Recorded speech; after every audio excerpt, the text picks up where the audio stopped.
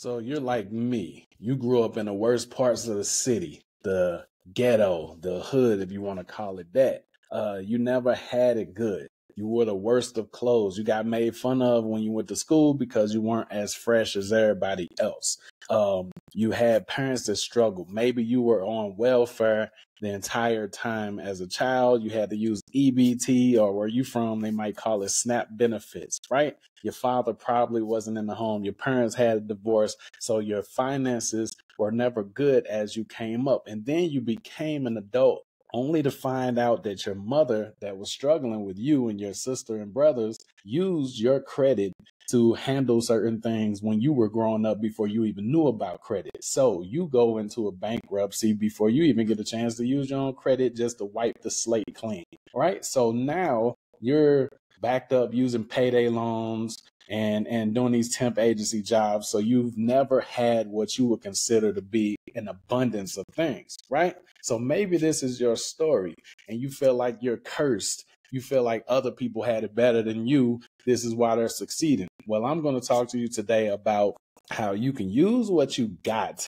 to get what you want. If you're trying to get way more money than you have right now, then this is a video that you want to watch. All right. So what we're going to do is eliminate excuses. The greatest people in the Bible, the greatest people in all the books that you watch or read and everything, the greatest people in the movies that you love, they always seem to have a disadvantage, but God doesn't put too much on you that you can't handle. So we're going to talk about that today about how you can leverage whatever it is you got to get whatever it is you want. You never want to stay stagnant and you never want to accept defeat. You never want to accept your own excuses because there is a way around everything. Something is only an obstacle if you allow it to be. It is a mental thing. Everything is based off of perception. If you don't see the obstacle, then it's really not there. Okay. So for today's example of how you can get your money up, get your credit up, get your, uh, you know, the benefits that you want in life. You want to maybe country hop. You want to like go from place to place, be a passport bro, have a lot of money, experience uh, the abundance that God and life can provide for you. We're going to use this example of the parable and the talents in uh, the KJV version of the Bible. Now, before you ride off into the sunset and run with the devil fleeing from you, uh, I want you to know that even if you don't believe in the Bible, guys, business principles are biblical. All right. There are business principles that have been since the ancient times that these big corporations are using. And this is why they're drowning out everybody else. Because even if they're not a believer, they understand that wisdom comes from the word. You understand? The wisest people of all time constructed this Bible using the inspiration of the Most High God. So if you want a business that runs soundly, if you want to make a lot of money and don't want to have to struggle anymore and use your hood excuses, then you want to pay attention to this. Okay. You're going to get real actionable steps from this. Okay. Now, read along because I'm not your pastor. I'm not trying to lead you astray. I want y'all to actually like read along. Okay. All right. So Matthew chapter uh, 25. Go to everybody go to Matthew chapter 25 verse 14. Okay. This is parable of the talents. All right. There's going to be a lot of metaphors, similes, and analogies. That's how Christ spoke. He spoke in parables so that those who were meant to get it would actually understand. And those that weren't meant to get it, they would look at it as coding and they wouldn't be able to break through it. So you want to be chosen, right? Many are called, but few are chosen. So let's pray that you guys understand this. Matthew 25, verse 14 says, For the kingdom of heaven is as a man traveling into a far country who called his own servants and delivered them unto them his goods. Pay attention. And unto one he gave five talents. Okay. So hopefully this is going to purge out your jealousy and your envy and your habits of looking at what others are blessed with. Okay. So he gave one of them five talents. All right. Then he gave the other two talents. So it was three students. So he gave one of them five. He gave one of them two talents. Talents is money, okay? And he gave one of them one talent. Now, watch this. This is the important part that will get you to stop comparing yourself to other people. Oh man, I upload the same type of videos, but they get more views than me. Oh, I've been doing this longer than them and they get more money than me. Pay attention. So he gave, look, to every man according to his several ability, and straightway took his journey. So he came into town, gathered his, his three uh, students, and he said, Here, here's five talents for you. Here's two talents for you, and here's one talent for you. This is according to their ability. Everybody isn't blessed with the same abilities. So you're comparing yourself out there with somebody that's probably been doing things for years and got hella experience, and you think you're supposed to get paid the same amount as them and all of this extra stuff. It doesn't make any sense. This is why you focus on your gift, your talents. Okay. So he gave them according to their ability, and then he took his journey. Now, watch this. then he that had received the five talents, the dude that got the most money, went and traded with the same. So some of you guys do day trading, some of you do the stock market trading and and some of you guys invest in gold and all of that extra weird stuff and crypto, right? Okay, this is literally an ancient form of investing. Told you nothing new under the sun. They've been doing this forever, right? So he gave this dude five talents and he was smart enough to go and trade it. And guess what he did? He made five more talents. So he flipped Okay. Now, and likewise, the one that he gave two, this is this is chapter uh, this is verse 17, he also gained another two. So that dude that he gave two flipped it and made four. So this is what I want you to pay attention to. pay attention to the fact that the one that he only gave two to, he still went and traded his two. He didn't have a scarcity mindset by comparing himself to the one that he gave five. Well, why did the master give him five, but only gave me two. I say, I ain't got enough to do nothing with. That's our thing. If you're watching this right now, we've all been guilty of that. Well, I mean, I want to invest, but you know, I'm gonna wait till I get a couple more thousand. I'm gonna, like, I ain't got enough. I only got this or I only got that. This dude said, okay, well, I got two. So obviously he believes that I can do something with two. And he went and made four out of it. Now, this is the one that we've all been guilty of that you have to purge yourself of right here. Now, watch this. But he that received one talent, mm, he went and digged in the earth and hid his Lord's money. So why did he do that? Scarcity mindset. He like, man, he didn't really give me too much to trade. This is what I was talking about about that hood curse, the excuses. Well, I I wasn't really blessed with much. Most of y'all got credit cards. Most of y'all, some of y'all can get loans. Uh, maybe your parents passed money down to you and all of that. We use all them excuses, right? But God gives us something to work with if we'll focus on looking at what we have instead of what everybody else got. Social media teaches you to look at what everybody else got and to envy them. It's a it's a trick. It's a curse. So he went and he hid the money. This is representative of you. Mm, I'm, I'm, just gonna put this in savings. Uh, right now ain't the right time for me to invest in this program with this coach or to uh, go to this summit or this seminar where I can meet all these people and have all these connections and stuff that could bring me some money, but I only have this amount right here. So I got to hold on to that, right? Oh, this is my last. I can't spend my last. So you hold that money and you bury it. You thought you was the first one? No, this is ancient habits. Broke people stay broke because they keep a broke mentality. They don't believe in risk. Okay, now watch this. Our reward. Now watch this. It says, after a long time, the Lord of those servants coming. So the master, the one that handed them the money, you know, and told them to flip it, he came back, right? And he reckoned with them. This is 20, verse 20. And so he had, uh, he that had received five talents came and brought other five talents. So he brought a total of 10, saying, Lord, thou deliverest unto me five talents. Behold, I have gained beside them five talents more. So he like, yo, he was happy. He was proud. He was like, look, I flipped this. You know, you gave me five, and when you came back, I had 10.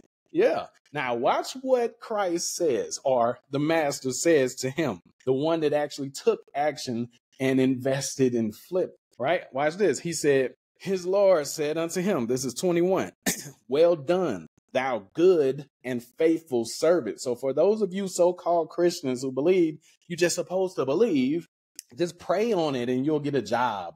Just pray on it, you'll get a raise or an increase. Just pray on it and you'll get some money. A blessing will rain from the sky and all of this extra feel good stuff. Christ right here, or the master right here, is telling you, no, while I was gone, I gave you enough to go and produce something with. So he called him a good and faithful servant. Thou has been faithful over few things. Pay attention. This is the key, guys. Thou has been faithful over few things. I will make thee ruler over many things. Oh, snappage.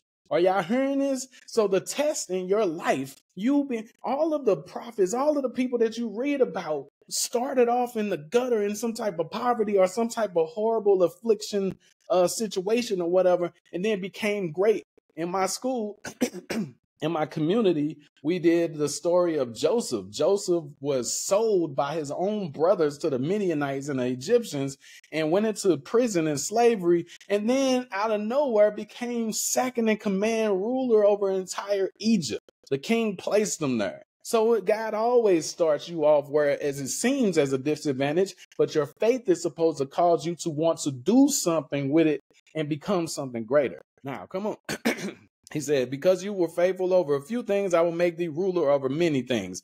Enter thou into the joy of thy Lord. Meaning now you can be blessed with abundance. Now you're on my good side because you were a good and faithful servant. You did exactly what I was I wanted you to. Now 22 says He also that had received two talents came and said, Lord, thou deliverest unto me two talents. Behold, I have gained two other talents beside them. So he flipped it to four. Now watch this. His Lord said unto him the same thing. Well done, good and faithful servant. Thou hast been faithful over a few things. I will make thee ruler over many things. So because he didn't just hold his money, well, I only got two, but he gave the other dude five. So pay attention. It, this is remember, he that has an ear, let them hear. That's not talking about sonically. Like, oh, of course I can hear. I have ears. No. If you have understanding, take heed. That's what that means. So I pray that you guys watching this have understanding. You don't even have to get in my programs, but if you come across some type of program or investment that you can make that has the potential to be flipped, to has potential to take your money and make more money into it. Stop like, well, I'm, a, uh, you know, maybe next year or, you know, uh, maybe when I see some more testimonials or me, maybe, because guess what? There are other people that have the same amount of money or a little bit less that are taking actions who next time you circle around are going to have way more money and blessings than you because they took action. Don't be this dude right here. Now watch this. He called up the one that received one talent, we on 24, and said, Lord, I knew thee that thou art a hard man, pause, reaping where thou hast not sown, gathering where thou hast not strawed. So he said, I know that you're an investor that believes in leverage. Okay. I know that you don't want to work hard for your money. So what you do is you hand people money and tell them to go make you more money. He knows that about him, but he still didn't take action. Watch this 25. This is the point. This is what we're guilty of, guys. I've been guilty of it in the past, but now I'm a proud and cheerful giver. I'm a happy investor. Okay. Even when I'm afraid, I make moves. Watch this 25. It says, And I was afraid and went and hid thy talent in the earth. So that's you. You'll go and hide your money under the mattress, or you'll put your money in savings in the bank and be like, I'm not going to touch that until money just happened to come. I don't know how it's going to come, guys. We got to be realistic. Everybody on here is probably over the age of 30. Money doesn't just magically come. Bills doesn't just magically go away. Every month they're going to stack. So if you don't do something to be able to produce income faster than you have to put it out, faster than you have to spend it, then you're going to keep drowning. That's what this entire situation is about. You have to make money faster than you spend it. If you want me to put this whole lesson just plainly, you need to. It's not that people are smarter than you; They're they make smarter decisions than you. Okay, you have to make money faster than you spend it. That's the key to gaining wealth or getting rich for some, right? gaining wealth, you is attracted to speed. Speed up your transactions. If you make one sale a day, then you need to like figure out how to make two sales a day. Then you need to figure out how to make two sales an hour. right? Like, how do you speed it up? You don't have to do too much different things out there. You just need to do it faster. And you apply leverage to do that, just like the master is doing right here. Okay, now let's get back to it. so he said, I was afraid and hid it in the earth. There thou has that is thine. So 25 is basically saying, I was scared, so I just saved the money. Here, here's the money you gave me back. Who? Now think about this. Who wants to stay at the same amount of wages? Put in the comments below if you are cool staying at $10 an hour, $15 an hour, even $50 an hour, knowing that your owner, your boss, is making hella more off of you, thousands a day potentially, based off of your labor or your intellect. And you cool with just staying at 10 or 50, $15 an hour, these slave increased wages, and you thinking you something. No, sorry to like lessen the pride, but no matter what raise you get, they're always making more than you. And that's crazy because you're the one doing the work. You need leverage. You have to apply leverage, guys. Okay. So it says, here's your money back. Who wants their money back? Like I see all of these marketers and advertisers that be teaching Facebook ads, TikTok ads, and, and all of this, and they are proud when they're teaching you to break even. That sounds stupid as hell. I'm not putting up a Facebook ad to break even. I'm putting up a Facebook ad so I can get more than what I'm putting in. Like that don't make sense. How do we turn a dollar to 10? How do we turn 10 to 50? How do we turn 50 to 100? You understand? Like, I'm not trying to put in a dollar and get back a dollar, but that's what this dude right here was telling the master. Oh, you understand, you know, I only had one talent. So, I mean, you couldn't expect me to come back with too, too much, right? You know what I'm saying? You, you the one that gave it to me. And that's how we do. We make excuses. Well, you know, God understands. He gave me my parents. He understands that my parents messed up my credit. He understands that I was born in the hoods of St. Louis South Side. You understand? He understands.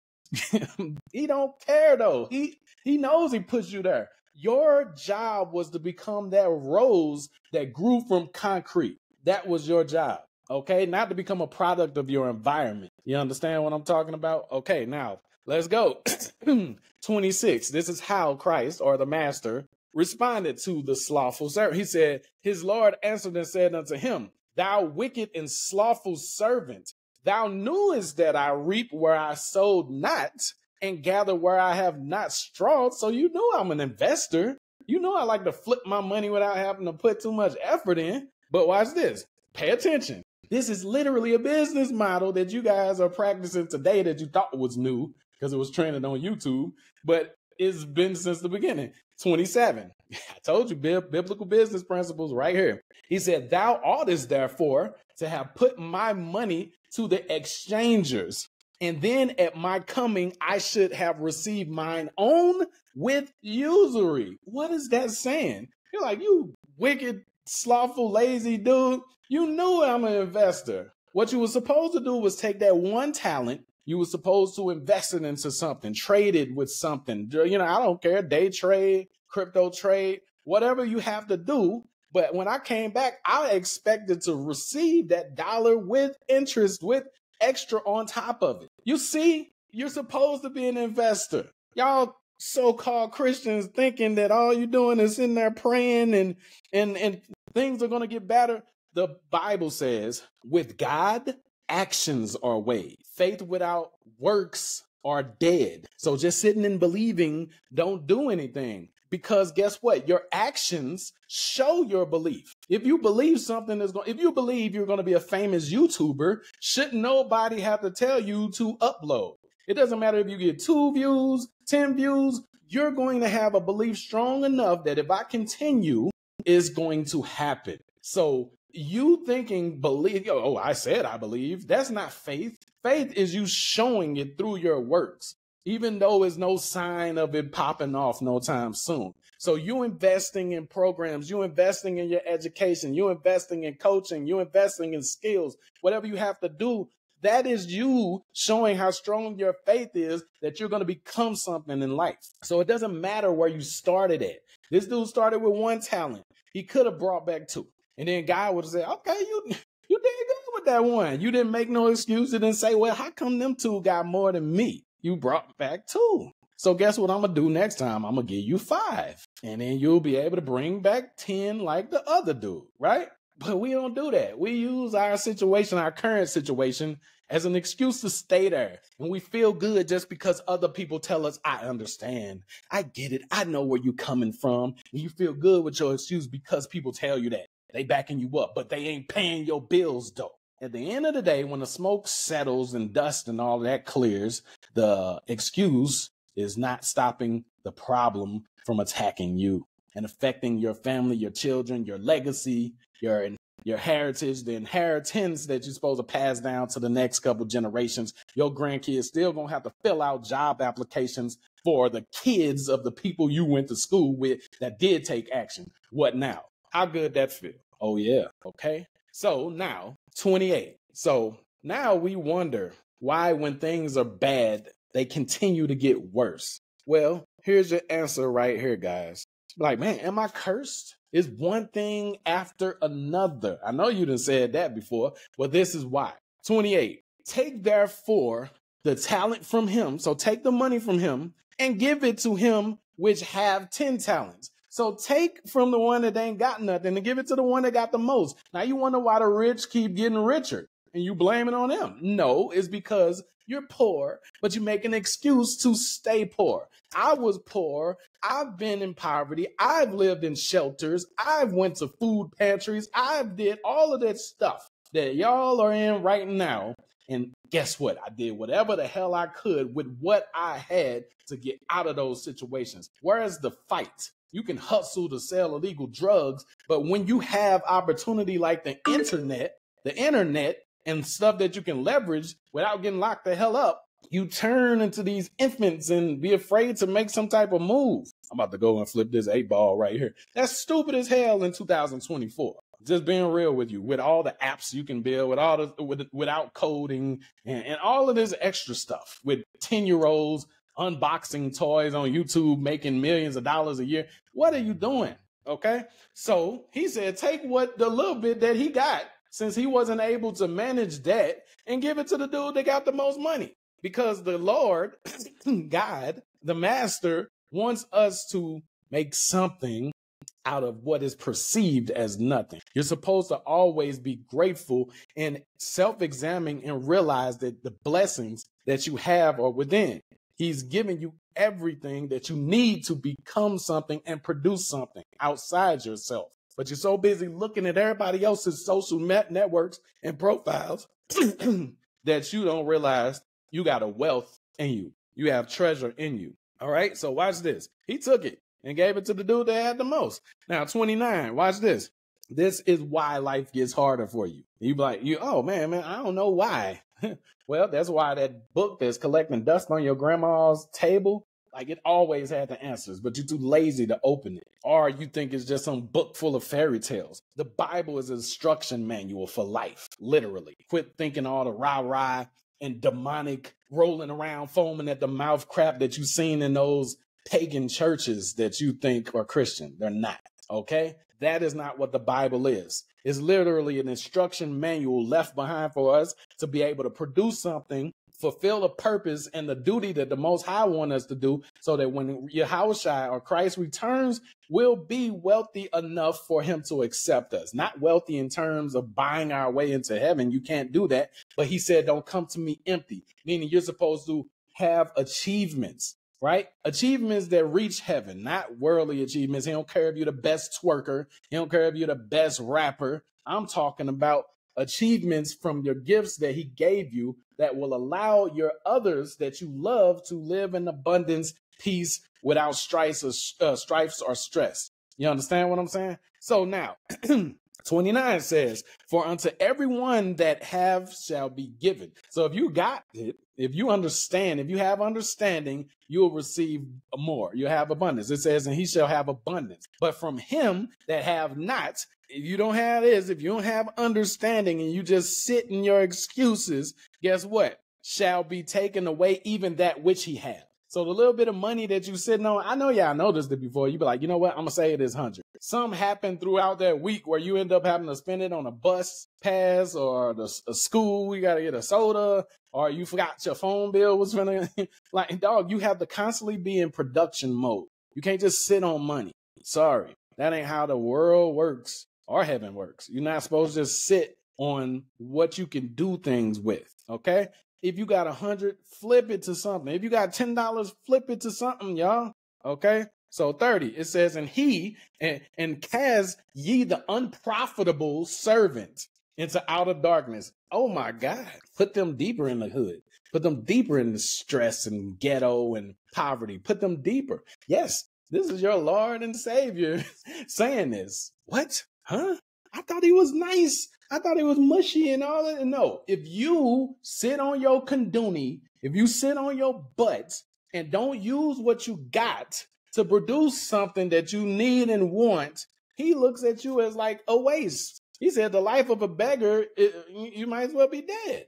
That's literally a scripture, right? So literally, right? Go look it up. Okay. Cast ye the unprofitable servant into darkness. There shall be weeping and gnashing of teeth. Oh, oh, everybody know what I'm talking about right there. So what y'all think, man? Did you did you receive revelation from this? Were you edified from this? Let me know in the comments. Are you going to take better action? You understand? Like a lot of people will think that I'm using these scriptures to get new students. Well, guess what?